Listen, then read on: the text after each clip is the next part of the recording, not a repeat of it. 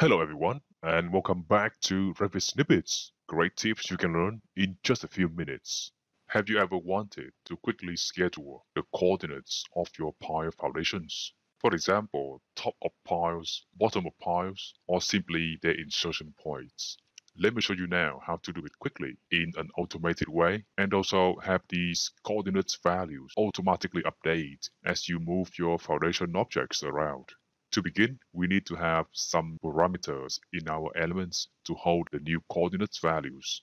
Let's create them now. I can go to shared parameters here. And as you can see, I have already added a few. But for our purpose today, we need to add new ones. So let's do new. And let's call this one x top coordinates. Make sure the new parameter is of type length, otherwise this workflow will not work.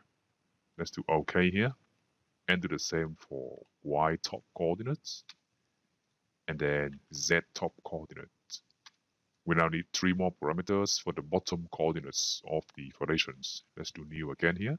This time instead of top, I can do bottom.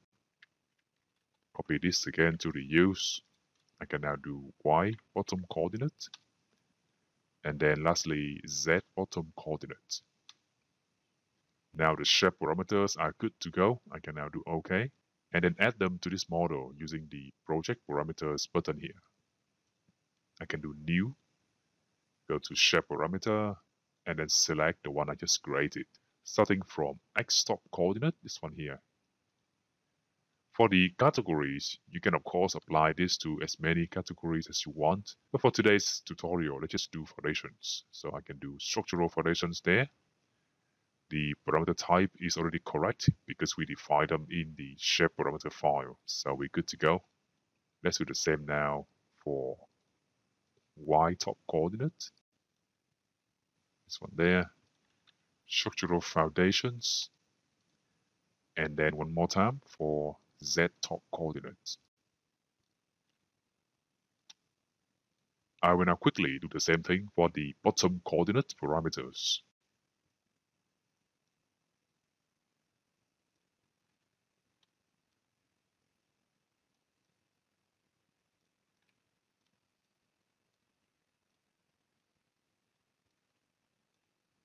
Here we go. I can now do OK.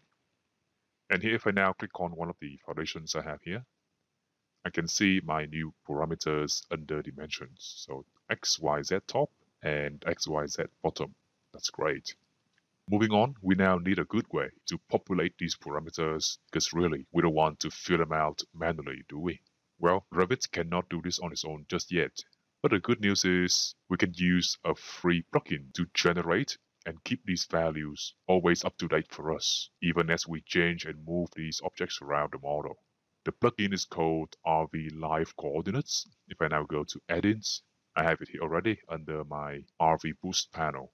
This plugin is completely free to try, so if you haven't got it already, just go down to this video description and use the link there to get your free copy today. For me, I'll just run it now. And here's the user interface. Super simple. We can start from defining the parameter setup we need to have on this first row. Step one is to select the category. In our case, of course, that's going to be structural foundations. Next step, we want to specify the coordinate base that the plugin should use to detect coordinate values. There are several options here, but for now I'll just go for shared coordinates. As you can see on the tooltip, this is the equivalent of getting the parameter values from spot coordinates that is set to be based on the survey point. So that's good for me now. Next step, I can choose the parameters where I want to store the coordinate values in each object. On this menu, that's easy because here I have all the parameters available from this category here. For me now, let's first go for x top coordinate, y top coordinate, and then of course z top coordinates. These three will hold the xyz values of the top point of each foundation here. To finish the setup, I need to also set the element reference.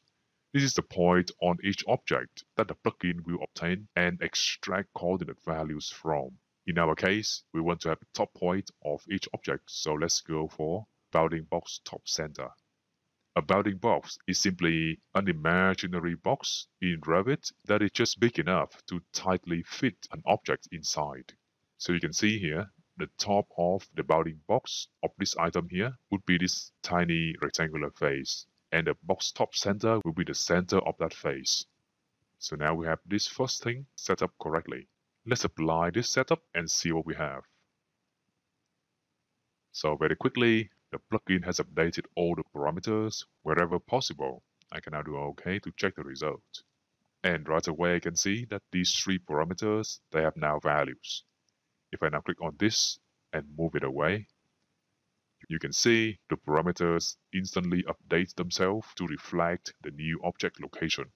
Even better, it works not just for the main family here, but also the nested components of the families. Here I have the whole foundation object selected, but if I now tap select just one single part underneath, this nested object also has its coordinates filled out. If I now move it around, I also see these three values are being refreshed automatically for me. So that works for the top coordinates. Let's do the same now for the bottom ones. I can go back to add-ins, back to RV live coordinates. And here it's easy to duplicate this setup to configure our bottom values. Simply press on this duplicate button here. And I will copy this parameter config to a new row just below.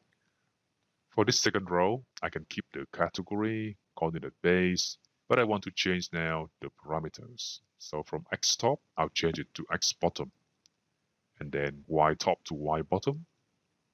And finally, Z top will now be Z bottom. For the element reference, instead of using the box top center, I will use now the bottom center instead. Remember, the bounding box is just big enough to fit this element inside, so the bottom face of the bounding box will be somewhere here, and the center of that face will have the coordinate values we want to get. So it looks good. I can now click on apply. And in a few seconds, all the parameters have been updated for me. When I click on maybe this other foundation here, I can see all six parameters have now been filled out. If I try to move it, all six values will be updated for me as well. If I even try to copy this object to a new one, the new item will also automatically has its parameters populated as well. And the best thing is, because I have set up all the config for RV Live coordinates, even if I close down this model and then reopen it maybe a month from now, it will still keep these values always up to date when I move the items in a month's time. And also, since these are shared coordinates, it is now super easy for me to schedule them. If I now go to schedule and go for structural foundation here as the category, I can then select X, Y, and Z coordinates to be shown in the schedule. So X top, Y top, and Z top. There you go first. And then we have following them X bottom, Y bottom, and Z bottom. For easier identification of the family objects, I will also add in here a column for family and type and move it to the top. I can then also sort the table by family and type and see what it looks like. So there you have them. All the coordinates of all foundation objects have been scheduled for me super quickly. If I go back to here, select the first row, show the object in the model, maybe even side by side with the schedule. If I move this around, you will see the value update themselves in the schedule as well, just as I want them to be, right there. Now for the bonus tip, because I'm using RV Live coordinates, I can always go back to the app and even change these configs whenever I want to. For example, instead of reporting coordinates from the shared coordinate system, I can change the base from shared coordinates to project base point. And the same here. If I now apply this again to the model, you will see all these values will change because now they refer not to the shared coordinate system, but to the project base point of this particular model. If I go back to maybe the entry level and turn on the project base point under site, this one there, Here's a point I have here in circular blue. If I now try to move this base point, you will see all these values also update because they always refer back to this as a coordinate base. Of course, I don't advise you to move this base point because usually it should always be fixed. This is just to show you that once you have configured your requirements in RV Live Coordinates, any relevant changes in the model later on will notify the app to update these parameter values for you. That means your schedule will always be accurate and leaves no space at all for human errors.